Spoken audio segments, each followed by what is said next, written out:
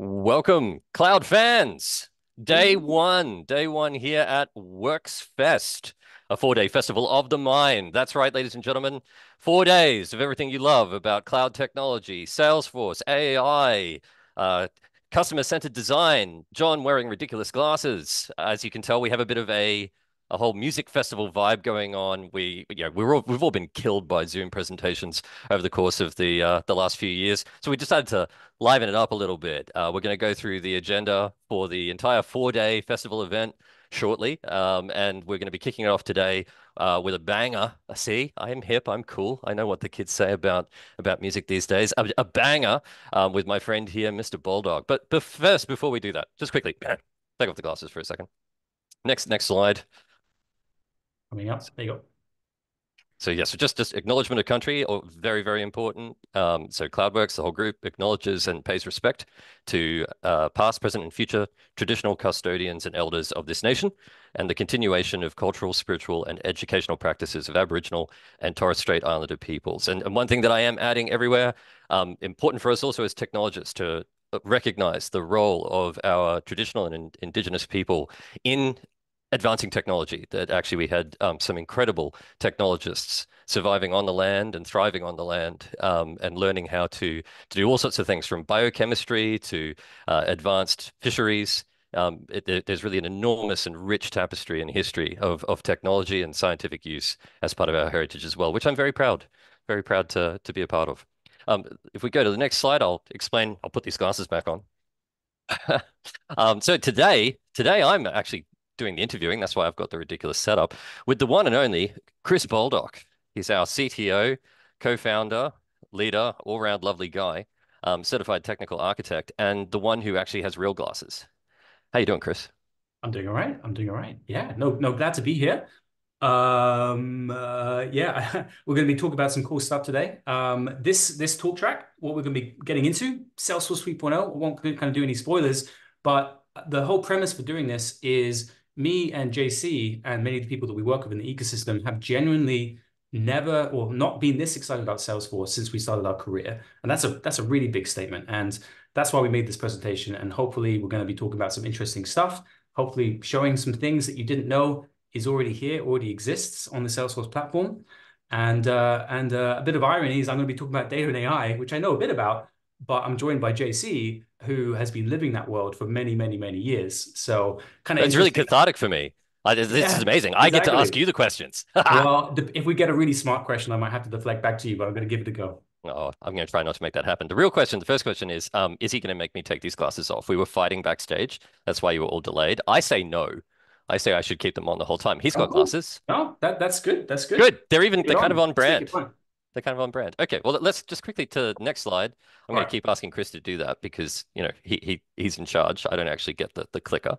Um, it's probably fair. I wouldn't trust me with the clicker either. But if you're just joining us, the thing to understand is that this is a, a four day festival event. There's lots of different streams on lots of different days about a whole range of different things that you can dial in remotely. Um, so if you've got time in your calendar and you want to learn a little bit more about what's going on uh, in the world of cloud, Salesforce, data, AI, the whole lot. Um, we're the coolest people to be hanging out with. So come hang out. The other thing too is that if you're in Sydney in particular on Thursday, we're going to have some amazing events in person. Right in the incredible Salesforce Tower. So register, register, register, register. Um, we've already got a whole heap of people that are registered and listening and, and joining, um, but it's not too late. There's still spaces. So make sure you're clicking on the registration links, um, assuming that you haven't been scared away by my terrible fashion choices. Anyway, so let's let's dive in. Let's get to it. Chris, Salesforce 3.0, like you said, you said some pretty heavy stuff. Yep. Um, you've been doing Salesforce for a decade. You know, I'm now unfortunately in the same space. I'm not supposed to say the word decade. That makes everybody really upset. Um, but it, uh, Salesforce 3, approaching it as like this this step change. Hmm. Um, it is a bold claim. Substantiated, sir. Yeah, no, it's it's it's a bold claim. Um, and these things don't happen just through the innovation of a single technology. You know, every year from Dreamforce, it's pretty natural that there's going to be one, you know, big thing. Uh, and typically there's going to be, you know, several things that happen behind the scenes to make that big thing happen. But it's really very, very rare that we get something this big. And obviously everyone knows about ChatGPT. Um, you know, that was deployed, kind of made available to the public about two years ago. and my mind was blown. Uh, and clearly everyone else's mind was blown because that has uh, and maybe will be forever or for a very long time the fastest growing application ever mm. because people were just so shocked at how smart that technology was and how it was so much better than what they thought was kind of currently available in the market, right? Just through kind of like Amazon, um, you know, and, and kind of the Google offering. Real inflection so, point. Yeah. Oh, it, it's it's a huge inflection point, and you know that technology in itself, the generative AI, obviously lots of underlying technologies that have come together to to bring that capability to the level of quality that that is today.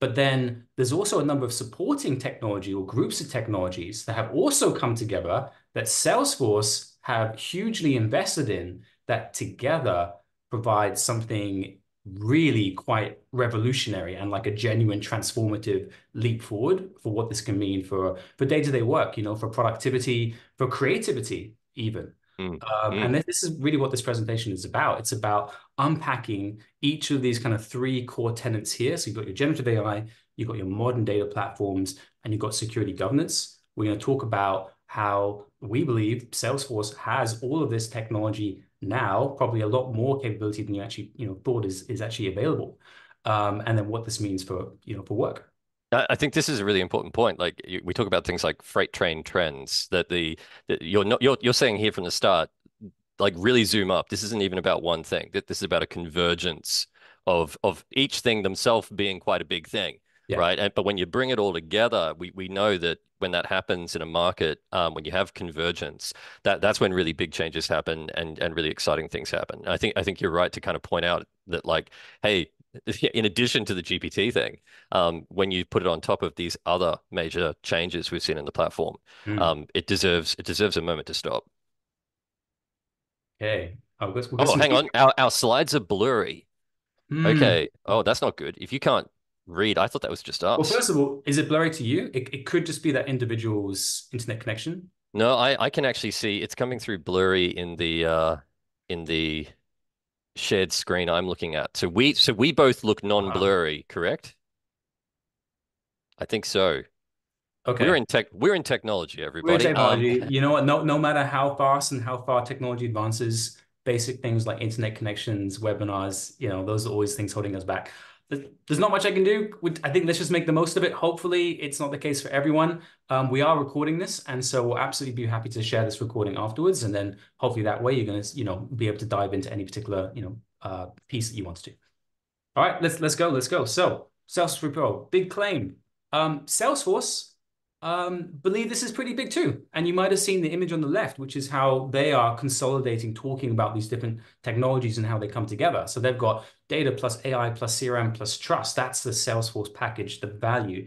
Uh, we have a very similar logo. So we've, we've gone for something a little bit different. It's got the key components, but we've placed this differently to demonstrate a few things that aren't really coming across in the in the Salesforce version, which is the multiplier effects that each of these core technologies have on one another. You know, CRM is powering data. Obviously, there's lots of rich data that you're getting from your CRM. And as Salesforce continues to release more and more capabilities, you're getting access to more and more data um, than ever before. Obviously, data powers CRM, right? If you're able to connect mm. to your broader ecosystem of data and make that available through your people, through the system of work, well, that's incredibly powerful um, everyone knows that data is a huge and important fundamental component of AI, right? Like the the the, the ability um, and the potential for things like uh, generative and predictive AI, it's it's all based on data, right? And then 100%. without a doubt, you know, through generative AI, people have seen that when done right, generative AI can seriously power uh, workflow. It can seriously power people in basically any single domain. It doesn't matter if you're in sales, service, marketing, finance. Um, people. hang on, hang on, hang on. I'm a consultant. I'm a consultant. I got to keep yeah. you honest here, right? Uh, so I got, I got to ask, like, okay, Mr. Consultant Man, I see that you've taken like these four words from Salesforce and you've turned them into a much more stable trapezoid. Um, what, what's the significance of putting like trust in yes. this this kind of circular space on the outside? Yes, why, why yes, is yes. that? Well, well, trust is more important than it's ever been. Um, you know, Salesforce from from day one, their number one value was trust, and that was crucial because they were very early adopters of cloud. Uh, and they they created uh, maybe maybe it was the first ever kind of example of a mm. cloud CRM, a cloud platform. And trust was essential because they had to convince customers who are used to hosting their own data to then be willing to trust Salesforce to appropriately safeguard that data on their behalf, right? Mm. And so they've had this since day one. Um, I think they've lived up to that promise, you know, incredibly well. At least, you know, as far as I'm aware, from from the twelve or so years I've been in this ecosystem. Oh no, definitely, definitely. Yeah. And and now trust is even more important. So trust you know, used to be just a few years ago, it was about ensuring that the users of your platform, anyone who has access to it, be internal or external, you could trust that those individuals are only going to be able to see and do what they're privileged to and nothing outside of that, right? Now, you're throwing generative AI into the mix. Mm. And mm. through the likes of Data Cloud that we're going to be talking about, you're extending that data, not just the data you have in your CRM, but the data that you have across your entire data ecosystem. So it, it's more crucial than ever that you have a very well governed, trusted security architecture that allows you know businesses and individual users of this technology to trust that it's it's going to work in their favor. It's not going to permit them to do anything that they shouldn't you know be able to do otherwise. I, th I think that's really important too. Like the I've always talked about Salesforce as being kind of like the the Apple of IT. It's a it's a walled garden, and that's a good thing. Um, and at the moment, we, are very much when you put those three things in the middle, what you're saying is customer data, or the rest of your data, and the generative AI thing. So, like your three highest targets at the moment for cybersecurity, for potential compromise, and and the fact that um, Salesforce has a, a, framework where all of that can now be governed really very securely inside um, you know the most trusted platform i would argue for yep. for orchestrating and coordinating as a system yep. of engagement um, i think i think your diagram's spot on is that it, it's like a perimeter yep. um, that's okay, right. so that, that, that's the perimeter, and obviously you've got the three components. They're highly complementary, and they multiply the effectiveness of each other. So, you know, from our perspective, it really is a case of one plus one plus one plus one. It, it doesn't equal four. It's equals 15, 20, you know, whatever you want to call it. it it's it's so much powerful when you have these components mm. uh, harmonized, uh, you know, contributing to each other. Love it, love it. All right, well, take us take us on a journey. D- dive us into this this thesis. There you go. So we've set the scene. Let's, let's the scene. dive into it. All right, you might have seen this slide. Um, this slide is mostly a Salesforce slide. Uh, I, we've made some kind of small adaptations, but the reason we've used this because uh, this is a great kind of more of an architecture kind of view of the world and how these three different components fit together. So you've still got the, the same three layers. You've got CRM at the top. You've got AI, which is the kind of the Einstein 1 model layer in the middle, which is all that, you know, cognition and intelligence. And then below that, you've got data. Now here, we're using data to really focus specifically on Data Cloud.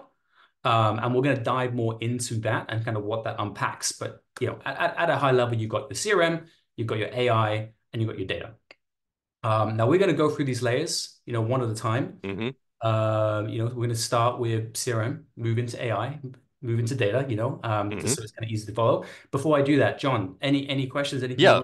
Well, I mean, the thing I was going to comment on is that um, you know, I love three-layered architectures, um, but I, I, think what's impressive is, you know, CRM, uh, Salesforce, it's kind of just that top layer. Yes. what what a lot of people have thought of as you know that that's where that, we play. That is it's, traditionally Salesforce. That, that's, you, might see some MuleSoft and some kind of connectivity, but that what we're used to is not even it's that the top, top bit. Two levels. It's that yeah. very very top bit. It's that apps and workflow. Yeah. hundred percent. And we've in a very short space of time, what we've seen now is the very legitimate claim to say that you, you've now got um, a significant part of the enterprise architecture unpacking underneath it, um, and that that's going to kind of power it. So what I love about this is like you, have really got that idea of the system of engagement, uh, this emerging idea of like system of cognition and the system yeah. of knowledge, um, and that Salesforce is saying, look, we we are definitely the top thing. Um, yes. We don't have to be everything in the in the bottom things, but we're we're going to plug into them. Um, yeah, and, and that that was one of the things that so I was excited before, but when I found out that Salesforce were doing this in such a way to also be an open ecosystem and then mm. allow customers to choose their own model to be able to to um, you know choose their own LLM, you know, uh, you know, large language generative model to be able to choose their own predictive AI model, and that through Data Cloud, we'll talk about this later, that they're also uh, jumping on a very cool technology and one of the earliest adopters to allow zero copy data sharing. Oh, Uh, yes. which means that you can, it, it, like, if you have your own data lake, data warehouse, you've invested in that, you've already made it so that you have your enterprise data shared in that. That's great. You're teasing me. We're jumping ahead. Yeah, we, we you know I want to- you know I want to that. talk I won't about that. so much, but but again, it's yeah, bring your own lake. It's like it's cool. You've got a lake, you've invested in it. Lakes are very powerful. You don't need to just replicate all of that data if you have one of those. Hook them up, and you get access to all of that data in both directions. And I I thought that was incredible. That's because it is. Yeah, That, that's because we're, we're that's because we're sleeping on it, ladies and gentlemen. Yes. But we'll we'll come back to that. We'll come back to that. Now, just in case, you know, I know people have been saying they're having difficulty potentially seeing the slides if they've got internet jam. Um, what are we diving into first, sir? Maybe just read it All out. right, diving into first, we are going into the first layer, AI enhanced productivity. Now, you might Hmm. stop me and say, but Chris, haven't we already had AI on Salesforce for multiple years? And and uh, JC, I know you specifically. You you've been doing a lot of this work for several years, right? You're one of the really Several. That's a that's a that's a political statement. Several. That's better than decade. Yeah. Yeah, fa- no, absolutely, you've, you've absolutely. been in this space um, for a long time, but Mm, historically, the big focus here is in predictive AI. And they mm, had a number of um, you know, predictive AI capabilities, which are kind of more turnkey, like your kind of recommendation builder and those sorts of things. Switch it on. Uh, uh, lead scoring, opportunity scoring, that kind of stuff, right? And then they had some more powerful stuff under, you know, under the hood. Einstein discovery. Einstein discovery, right? Shout out to my boy Bobby Brill, the amazing Bobby Brill, right? built shipping that product year after year. Now on Data Cloud. Now on Data Cloud. now on Data Cloud. And, so they, you know, very early on, they they invested in this technology and they gave us a suite of different technologies to go kind of as deep as you wanted to go, really, right? Um, in terms of either using what they give you or, or creating your own prediction models to do things like customer churn or uh, propensity to buy or you know all that kind of like the, the standard stuff, right? The Mhm. big difference and the stuff that we're going to be focusing on uh, as part of this presentation is the new stuff, which is predominantly focused on generative AI and focusing on a few things. One, just how much great capabilities are available now. Like we're not talking about roadmap here. Mm. We're literally just going to be talking about what's the stuff that you can buy now. And I really want to highlight this because I think most customers don't actually understand how much good stuff is there, right? And so Totally. hopefully we- should, you know, be able And, to and in their in their defense, you know, it it has grown Yeah, at yeah, an unprecedented rate. Like I have never seen this level of never. drop. And again, kudos to to Salesforce and, and San Fran and the product teams worldwide. Just the sheer volume of stuff that's been shipped in a short space of time, really, really impressive. But yeah, it does mean there's definitely a delta between what the market's aware it can do and what Yeah. is literally available right now. And that's why we're doing this talk, right? I was going to say, bridge that gap. How convenient. We've put this together for you. All right. So what go. Okay, cool. All right, so we're gonna we're gonna dive into it. Before I do, you know, what you got here is just a few kind of examples, right? But but Salesforce's approach here is about bringing generative AI to all clouds within Salesforce, all users. So, you know, uh, we're going to give examples of heaps of functionality that are going to be applying to uh, sales, service, marketing, commerce, experience, analytics. There's just so much good stuff here. And so some of the ones I've highlighted here at the very beginning, you've got Einstein Copilot. That's probably the most powerful capability. We'll talk about that later, but that's essentially your ChatGPT on steroids in Salesforce, right? And I'll talk about why on steroids. Why is that? Why am I saying that's better than ChatGPT? Uh, I'll, I'll, I'll explain that comment. I won't just kind of lay it and not touch it. Mhm. Um, and then you've got kind of uh, capabilities such as generative e email, you know, for, for for for different domains, for you know, sales and service, for example. You've got conversation summaries. So if you want to just very quickly catch up uh, on on a conversation or a series of conversations to understand where that particular you know case or opportunity, customer, etc. is is at, you can do that very simply. Reply recommendations, you know, the ability to live suggest reply recommendations to service agents who are having live chat sessions uh, to be able to, you know, speed up uh, the ability in which they can respond uh, or answer maybe say difficult questions from customers. You've got knowledge creation, which is very cool. Uh, knowledge base is very, very valuable, but often quite hard to govern and keep up to date. Um, so here's a technology that allows you to, at the press of a button, uh, generate a draft knowledge article based purely on the interactions you've had in the history of a particular case. Now that, that's hugely powerful in terms of making sure that your knowledge base is kept up to date. And then you've got things like engagement content. So Marketing Cloud, a big part of that focus is all about uh, generating uh, multimodal content, be that kind of, you know, uh, campaign taglines or even kind of images to support your campaigns and making it as easy as possible to, to generate that to get a campaign uh, up and running or just to say boost engagement of, of um, you know, a particular marketing journey they're working on. And this is this is just a tiny, tiny, tiny example of the sorts of things. In fact, how tiny is this? Wow. Uh, this slide. Now we're gonna we're gonna try something quickly, Chris, because because yeah. if, if, we have got a few people still talking about the the video, I'm gonna press a button. It might break everything. Here we go. We're gonna switch oh. to trying to share okay. content. Okay. Did that just change? Has Didn't... anybody? No, not for you. Well, not nothing changed on my end. Okay. Is there any way we can rotate? Has anyone got uh, D? I don't know if you're able to rotate what's being shared as the main slide. Because apparently if you change focus, if people are on the other end, if you change focus, if you've got any option, what you're focusing on, and you focus on the slide, some of that blurriness can go ah. away. Okay. Okay, cool. No, that's fine. We'll keep going. Dive into okay. it, Chris. Let's keep going. Okay, okay. So um, this slide is to demonstrate a subset, a genuine subset of all of the amazing generative AI capabilities are available now. I very intentionally not talked about roadmap you know, for, a few reasons. One, it's a roadmap, you know, safe harbor. We, you can't necessarily commit to anything that's on it. But also, I don't think I even need to because there's so much good stuff available now. Uh, we could do an entire presentation just talking about this, right? Um, and, and again, this is what I think most people don't really understand is just how much available content there is now with mm. generative AI. And, and also what's incredible is most of this has been made available in the last six months. And if you were to see a roadmap, you would see this multiplied. And, and that just demonstrates the amount of focus and investment that Salesforce is doing uh, to ensure that they really are, do remain the number one CRM and that they are uh, you know, giving very strong generative AI capabilities to all users of Salesforce.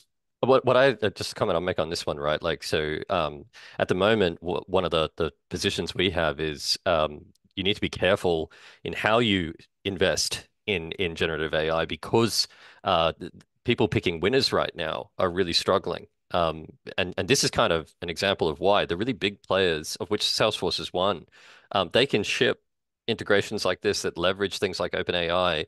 Uh, a little group, like two or three of these, is an entire app that's probably yeah. you know been funded, tried to get out there, and is now already dead um, out of Silicon Valley. So that when you step back and see what's going to happen it, it makes a lot of sense for you to be uh, actually staying focused on platforms that you're either strategically invested in already, um, or which you're, if you're considering where you're going to go, going with a platform makes more sense because um, I know one commentator calls it the, the the sport of kings at the moment. Like we're spending billions on retraining these models constantly.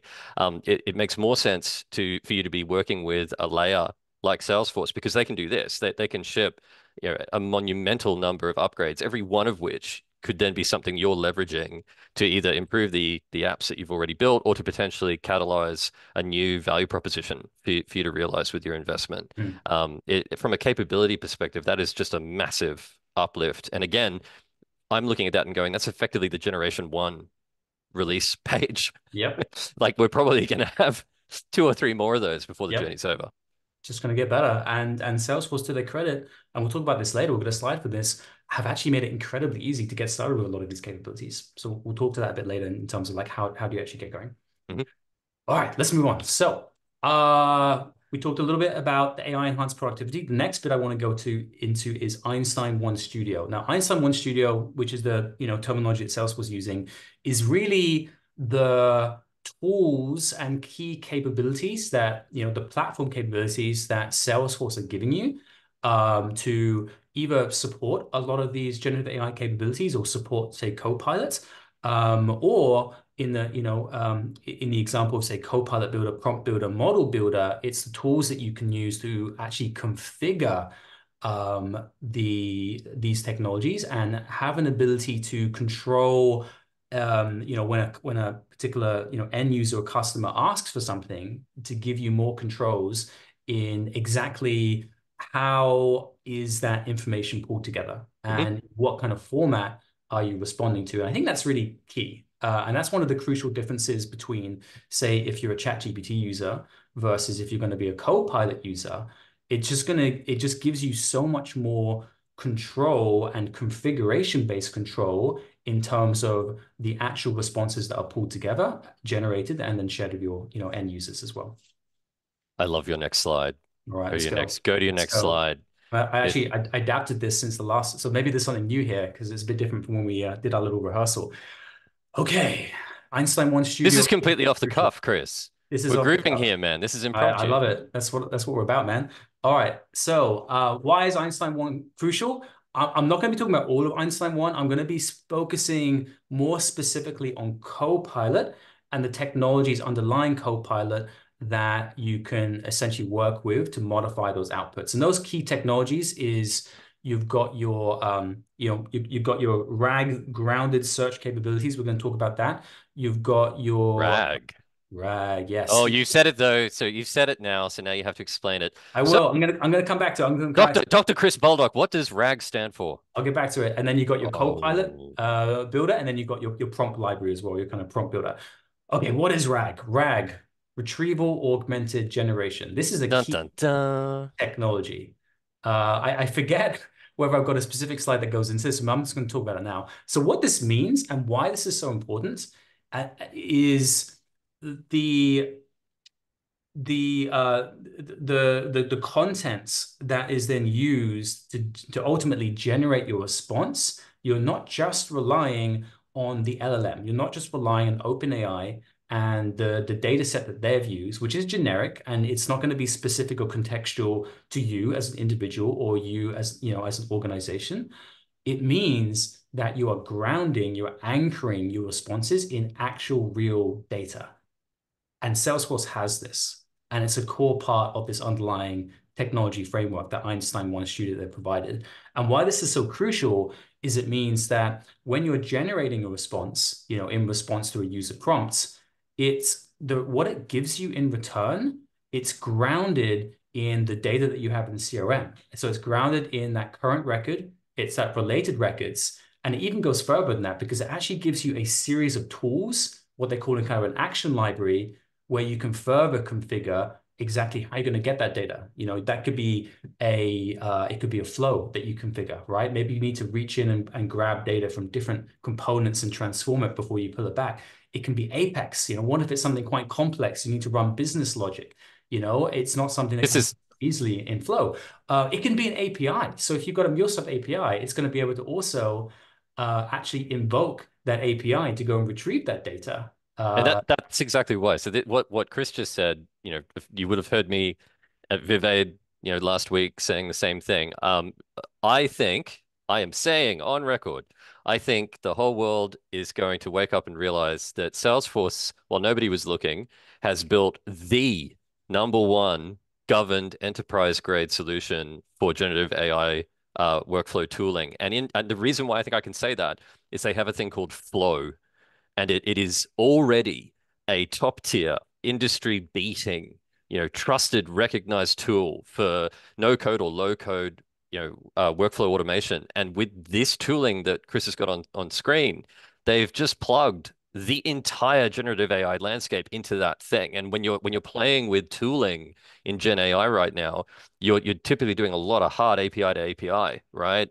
Salesforce has has normalized the idea that yes, you can do that, sure, but for everything else, there's you know there's Mastercard, there's there's Flow, and, and so by by taking that and socketing that straight in to the API first approach that these Gen AI solutions have, what they've really done is I think stolen a march to market because Yeah. if you if you've got people in your organization that are comfortable with Flow, guess what? You've actually already got a significant capability to roll out Gen AI.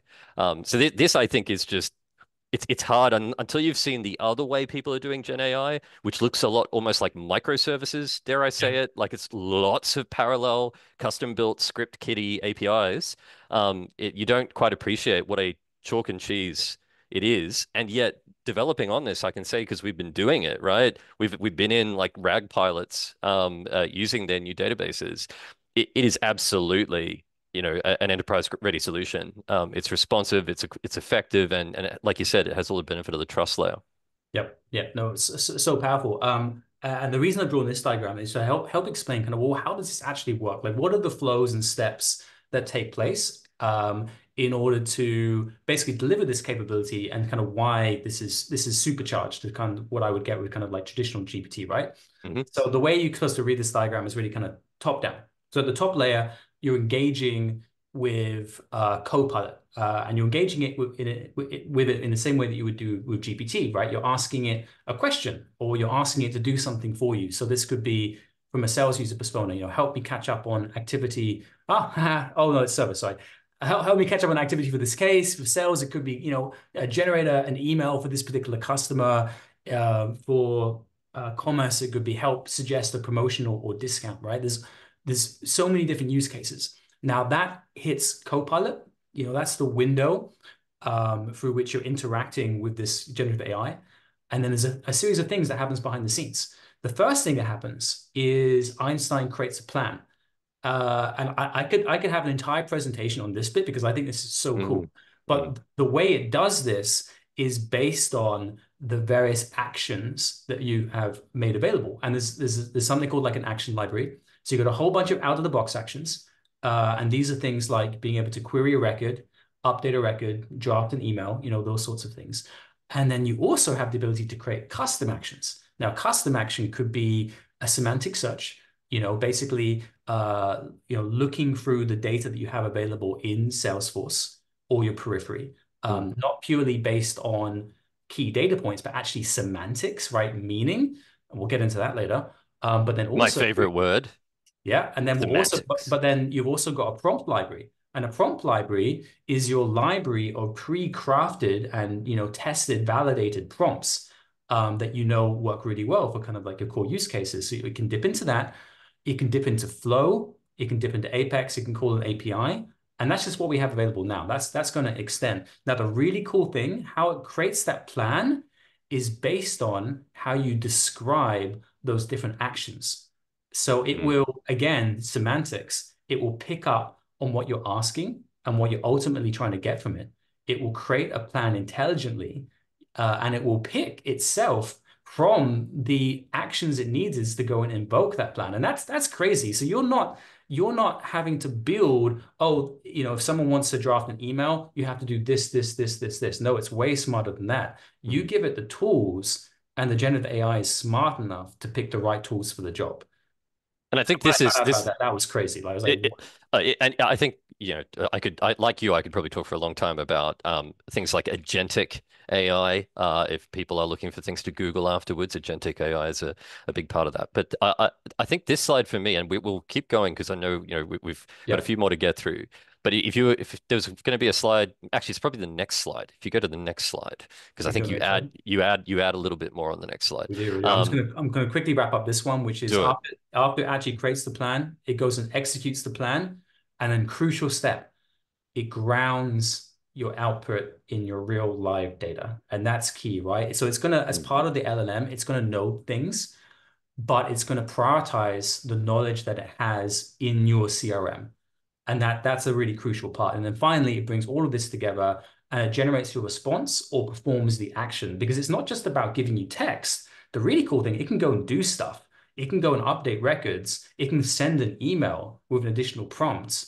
And and and that's where I think we're going to see that next wave of innovation is mm. it's going to be moving on from generating and moving towards actually trusting that generative AI to go and act, you know, perform that next kind of, you know, step action. I will I will add one because that's my job. I will add one yeah. little geek moment here, folks. Again, for people who are wanting to to Google after the show, um, the the thing about the grounding, the thing about the retrieval augmented generation, so like it, it makes some intuitive sense.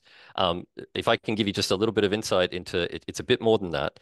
Um, the thing that makes a, a LLM operate primarily has been this breakthrough in in what's called self attention um, that when you when you type something in, there's a thing called the context window, and the context window gets thought of as like its short-term memory. What it really is is it's kind of like the input hopper. Um, and in theory, if you don't use all of it, effectively you can think of the remainder as basically being blank. Whatever mm. goes into that hopper the the calculations, vast calculations that go on um, as you're powering the LLM, they pay literally attention to that. So that if you're not using that space to pack in as much additional and specific contextual information as you can, you're not leveraging anything yeah. like what it's capable of right? So in addition to the intuitive understanding of the more context I give you, the more specific the response will be. It's actually even deeper than that, right? Mathematically, from the perspective of how to get the best out of these tools, you actually, there's a balancing act. You don't want to necessarily at this stage just give them enormous amounts of context for the hell of it. But the more you can pad into that initial input function, the more you're actually literally changing the, the weights and the attention yeah. of the entire model's execution. Um, and it's why having that built in from day one with the Salesforce architecture, um, I think is is market beating. Nice, nice, nice, nice. Okay, I'm going to move on. We've got what we're 20 minutes left. We want to make sure we have at least five minutes of Q and A. So I'm probably going to speed up at this point. Yep, you, you're doing okay, one, but let's go. yeah, let's go. Einstein One Studio is crucial. You know what? It's even better with Data Cloud, and the reason is is because a huge component here, that grounding, it's based on your data. And so when you can give it that richer data pool, the results you're going to get back is going to be even more accurate, even more relevant. And through Data Cloud and uh, you know uh, seamless integration that you have with Salesforce, it and the fact it has a vector database, which is also crazy. I'll I'll talk about that very briefly. Vector database, you might have heard that term. What that means is it's all about storing data, not just the data itself, but also storing it semantically. So based on uh, a, a, number of attributes which uh, describe the underlying meaning of that data. So you would have seen this in, for example, Google search, mm-hmm. uh, specifically Google Photos. You can type in wedding or you can type in sunset, and it, within a heartbeat, it will go and bring back uh, very relevant content, right? Underlying that, there's a vector database. It can do that because it takes an image, it runs an algorithm to extract out key tags or kind of meaning, uh, or the, the different levels of meaning, different tags that could be associated with that particular image. And then it stores it in a way that it can be very easily retrieved based on that meaning. Data Cloud has a vector database. Now, this is cool in, in a bunch of ways. It's very cool because it supports things like semantic search. It means that, you know, based on the prompt or, or based on what you're looking for, it doesn't just take the text and do a find me this where, you know, uh, where this field equals X. It's way smarter than that. Vector databases are also hyper, hyper efficient as well. It means that mm. not only can you extract out meaning, but you can do it incredibly fast. So Data has a vector database. That's incredible. It also has the ability to store both structured and unstructured data. And that unstructured is so key because no longer are you relying on just storing records, right? Like, you know, rows in a table. You can store PDFs, you can store videos, audio, and it's going to be able to extract out and search content from those different formats. And so where my mind instantly got to when I heard about it, this is like, whoa, whoa, whoa, whoa. So we, I've worked with loads of contact centers, and something which is very common is contact centers have huge libraries of PDFs, which essentially describe both the organizational knowledge, but also the service procedures. Like, what are the things you need to do in order to um, uh, to, to meet a particular query? And on, often it's fairly complex. You might have to go through different systems. Now, historically, if you wanted to make that useful in Salesforce, you had to basically convert all of that into knowledge articles. Mm. Uh, you know, which is which is okay. You know, it, you can do it, and and then it will, you know, uh, su support you, support your uh, service agents. But what if you could? What if you didn't need to do that? What if you could just take that entire uh, library of knowledge that you have available on documents, and you could just put that into Data Cloud? And what if that was instantly available for your Copilot for your generative AI? That's crazy. Data Cloud actually has that, and so this is why that if you have Data Cloud in the mix, uh, I haven't even talked about how you can, you know, we can, we talked about this a little bit earlier, how you can connect it with your uh, other lakes, you know, through zero copy data sharing. Mm-hmm. Uh, it makes that generative AI capabilities so, so, so much more powerful. No, 100%. And uh, I mean, in the interest of time, I I, I wanted to, to keep cruising through. But yeah, th- yeah. Th- th- there's like we said, there's a whole slide there that um people that there's been so much change. I think people uh lose the the the whole picture. But this idea that data cloud is actually a connective layer. It's a substrate layer. Um, it's bring your own everything. You can bring your own data lake, bring your own database, bring your own model, bring your own AI, bring your own documents, right? As as people begin to grok that, that that's when I think people are going to be like, oh, that's literally what I've always wanted Salesforce to do. And and now it's kind of yeah. like the restrictions are gone. You're going to have significant. That's why you know Chris and I are constantly challenging ourselves to be like, almost everything where you have an assumed pattern for how you solve this in Salesforce. Yeah, in, the game has changed. You have, you have, you, yeah, you yeah, have yeah. You, have to stop. Hmm. Yeah. Or could I just do that with like three calls to an LLM yes. and a vector database? If the answer is yes, we should just do that. Yep. It's going to be faster and cheaper. Yep.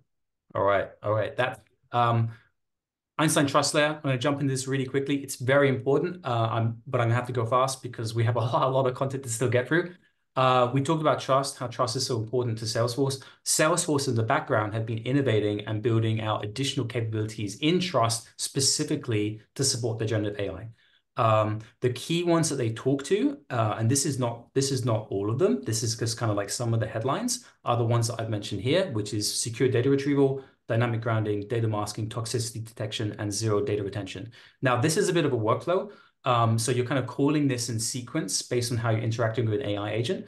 And the way that I think I've got this. No, you know what? It's I haven't actually ordered this in necessarily the same order, but basically the way to think about this is at the very beginning, you have a user prompt, you have a user who's engaging with the generative AI. It goes through these sequence of steps and stages, not necessarily in this order, before actually generating its output. And I'm just going to talk very quickly to watch each of these. Very out. quickly. Very quickly. So secure data retention, super important. What this means is that if you're asking the bot to do something, it can only do a thing or retrieve a data based on your privileges or its privileges. It can't go outside that realm, which means it's never going to access and expose data that you, you shouldn't be able to see. Mm-hmm. Dynamic grounding, that's essential. It's not just going to trust and rely on data that was used to train the underlying LLM, like, you know, uh, like a GPT. It's, it's going to be grounding that data and prioritizing your data to make sure that when you are giving that response, it's going to be it's going to be relevant and it's going to be accurate and it's going to be reliable. Data masking hugely important. Um, organizations have a huge wealth of personal and sensitive information. Now there are, are, tools that Salesforce have now given you where you can actually classify, uh, you know, what is sensitive information for your particular organization within your particular industry. Um, they obviously metadata management, that. right? But in addition to that, they've got their own AI, which helps them to also dynamically identify what is that personal sensitive information and uh, make sure that that's that's not shared, you know, based on you know uh, the particular context in which it's being interacted with. Toxicity uh, detection hugely important. Um, it, it, it basically a layer that ensures that uh, before uh, the content that it uses is filtered to ensure that it's it's not toxic, right? It's it's not something that might uh, have a particular you know uh, inherent bias. It's not something that has profanity. It's not something it that... would ban these glasses, for example. yeah, it exactly, wouldn't it wouldn't right? generate this. It has some level of filtering to make sure that that what it's replying to, um, whatever you know data you've given it, it, it it's it's you know it, it's gonna it, it's it's not something that you wouldn't want to be shared essentially. And then finally, zero data retention. So Salesforce, um, they're not the LLM. They're the gateway to the LLM. Uh, and the really cool thing is they actually allow you to be open. You know, you can choose. Uh, you don't. I mean, you know, we're um, we're, we're big backers of OpenAI. Uh, I think what they're mm. doing is absolutely incredible. But you're not limited to that. Now, what they have done is a crucial component of any partner, any LLM that they give you access to, they have a policy and agreement in place, which is that LLM will never store your data um, that's been used as part of that kind of user prompt before um, uh, you know, after that's generated. So they will use, they will obviously use what it, what's given uh, in mm the context to actually generate the output, but they will not persist that data. They will not retain it afterwards. And that's all right. All right, Dr. Baldock, I'm I'm I'm routing you now. Go yep. to slide 17. All right. Oh, we're gonna miss it. Oh no. No, no. you're gonna go to slide 17. No, we're gonna yes. do data cloud. I'm gonna no, do so quick. You literally don't have time. You're going to slide no. 17. It's okay. We talked about data cloud before. That's fine. It's fine. I'll, right, I'll, I'll shed a little tear. Data cloud. I'll shed a little tear. You're gonna go to slide 17. We'll do another. We'll do another session of data cloud. Go okay. to go to slide 17. Go, you shall. Yes, means for my business what this does. Okay. All right. So, so this um, th these are the slides where uh actually you're now going to have to kind of summarize because they're coming through a bit blurry, right? okay, we'll Um, summarize. Yeah, you're you're going to need to summarize these. These these are the ones that we'll have available, you know, in a higher resolution later. But these this is actually Chris's magnum opus at the moment. These these three slides. Um, so we will get the high resolution through. We don't know what's going on with the the the blurrier slides coming through, guys. Um, but yeah, Chris, just take us through for the next right. five minutes the the key themes that you see, right? Um, Yep. Yep, as you go through these iterations. Let, let, let's do it. Let's do it. Okay, so um, me as an individual, I'm a technologist, but I, I've al I've always kind of prided myself as someone who puts equal importance into people and process, people, process, technology. You know, I might have seen that kind of little little triangle. Uh, and as part of my own kind of you know consultant journey over time, I've just increasingly pivoted to the importance of people and process, right? And so I try to make sure that my approach is kind of equally weighted across the three what we've got here, we're just going to talk through a few slides, which kind of help you to understand, well, what does this actually mean in a process that you might, you know, commonly understand? And so this is, we've applied this and these innovations to what this would mean for a typical kind of case resolution pathway. This is your traditional pathway. I'm going to go through it really quickly, but uh, you know, nothing, nothing uh, shown here is is particularly surprising, right? This is just the key steps you go through to resolve a case. You've got multiple channels in which you can, you know, capture a case. It's captured in Salesforce CRM. It's assigned to an individual to work on based on certain criteria. And Salesforce has got a few technologies that allow you to do this. Ultimately, it gets to someone. They need to manage that case, which often includes some kind of you know back and forth interaction with a customer. Uh, ideally, they're using Salesforce knowledge or some other kind of knowledge base to support them um, uh, with the effort of essentially resolving that case. Now, sometimes, for whatever reason, uh, maybe it's particularly complex. Maybe uh, that particular call center is a bit overloaded and that person wasn't able to get to that case in time. It might be escalated and assigned to someone else. Either way, it gets to a person, ultimately it's resolved. You might optionally have a feedback loop. Feedback loop, incredibly important to reach out to the customer, get some feedback on, on um, you know, um, the, the level of care um, that they received as part of that case resolution. And then finally, all of that data stored in Salesforce, so you're going to be able to uh, run reports and dashboards to get that kind of top top line view of how we're doing. You know, how can we improve? This is what most people are doing today. The the vast majority. Now, exactly how they do it, there might be some tweaks, but it's all basically going to fall down into these kind of different steps. Mhm. There's a bunch of challenges. I'm not going to go into those. I don't think we have time. Um, but the yeah, I'm I'm not going to go into them. That's another presentation.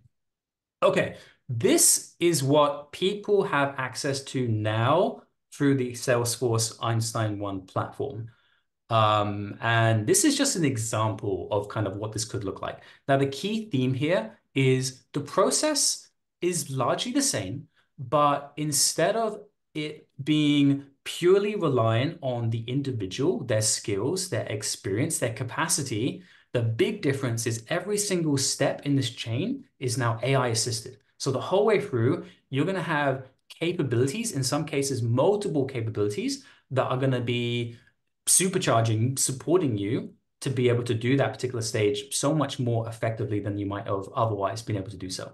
And for the, for the people playing at home, yeah. the, the little purple ovals, each Yes. of those is a is a currently available Gen AI feature, basically aligned over the top and, and changing the nature of of that previous step. Correct. mm. Ex exactly right. And so I might just kind of draw on a few of them. Um, so, you know, uh, obviously people, you know, for a few years, you've got Einstein live chat, you've got chatbots. Um, there are versions of this which are either out or literally about to come out where this is the next level, which is essentially exposing generative AI out to your customers to support them. So it's going to be a lot more intelligent. Um, either way, you you still largely have the same channels. Some of them might be a little bit more assisted than they were previously, and it still results in you having a case in Salesforce, which is basically a container for doing the work required to to resolve that particular interaction, question, complaint, etc. Um, now, Einstein case classification, this has actually been around for a while. Um, so what this is using is predictive AI. Uh, it's not generative AI, but I included it here because I think it's still very valuable. Based on attributes of that case that you configure, it will be able to uh, classify that case. Uh, so be able to, you know, predict, you know, uh, what is the priority of this case? What is the type and subtype of this case? You know, other attributes that are essential to ensure that that particular case gets to the right individual. So that's that's a really kind of crucial first part. They've also got Einstein case routing uh, that leverages omni-channel to make sure that it's going to the right person based on their skill set and capacity. So that gets the right person. Now, once it actually gets that person, they now have a heap of capabilities that they didn't have before, which is going to really support them in managing that case. You know, they've got things like service replies, you know, uh, and there's kind of a few different, well, service replies and reply recommendations, which essentially do very similar things. It, it will generate suggested responses um, for um, uh, for essentially replying or kind of progressing that particular case. And this is supported through uh, uh, you know, different channels. So this is supported through just you know, typical kind of like email cases, supported through messaging, it's supported through live chats. Either way, it's it's helping suggest and helping you to kind of move that forward, right? Uh, it's got conversation summaries. Sometimes you might pick something up, something particularly complex, allows you to get up to it up to speed really quickly. It's got generative knowledge creation. You know, if you if you manage to identify something that isn't in your knowledge base, you can very quickly draft that. And the, the, the real superpower is that co-pilot. So yes, very powerful to have buttons or things that just happening for you. But then you also have essentially this really smart assistant that knows everything about your process and your organization. And you can ask it questions and you can kind of go back and forth. And it can be that assistant to help you bridge the gap in in your knowledge to help essentially you know resolve that particular case faster. And that that that's huge.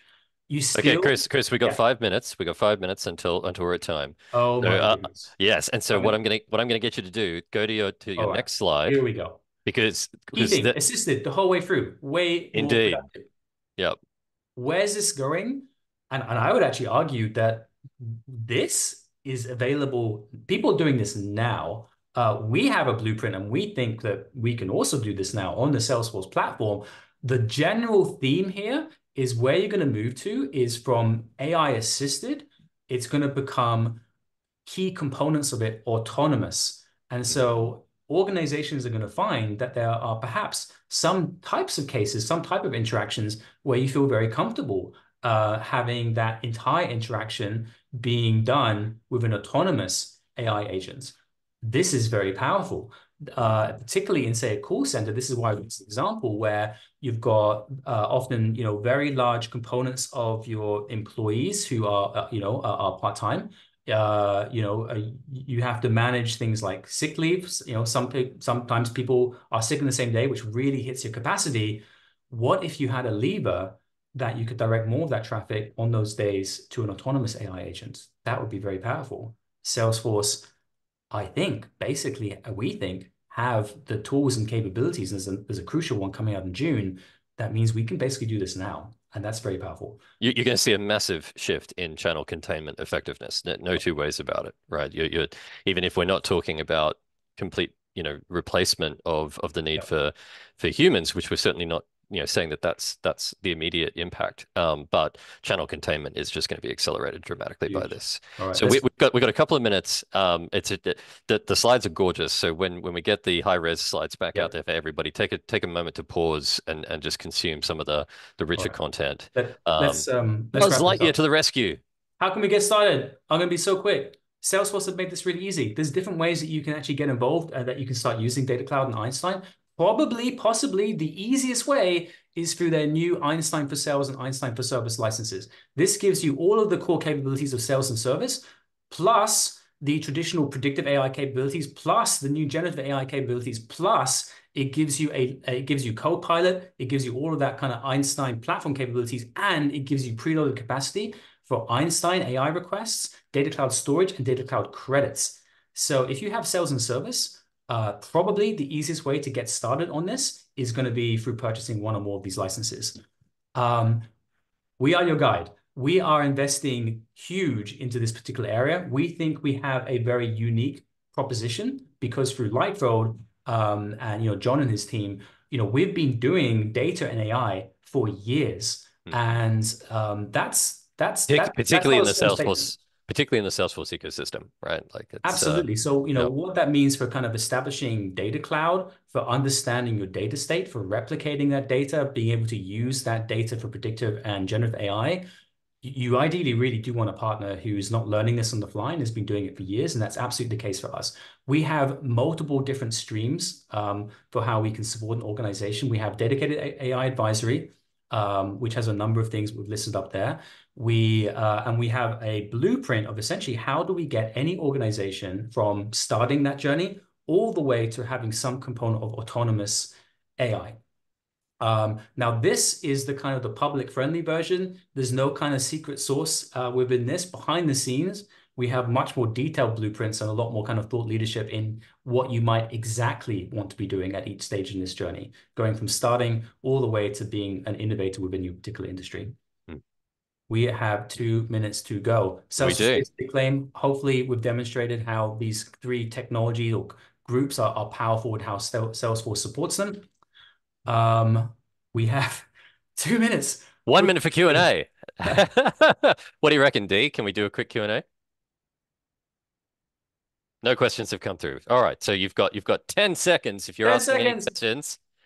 We'll, we'll, we'll, nine. we're gonna wrap it up. Eight, seven, six, I don't know if we have. Yeah, that's yeah, yeah. Let's That's okay. Okay, John, do you want to do you want to talk through this bit? Well, thank you, thank you for bearing with us, guys. Again, sorry about the slides. It'll be fixed as part of the uh, the upload that you guys will be able to get to. Because, like I said, some amazing slides there from Chris, very deliberately to give you lots of crunchy detail on on exactly how you could start to rethink some of these flows with the power of generative AI.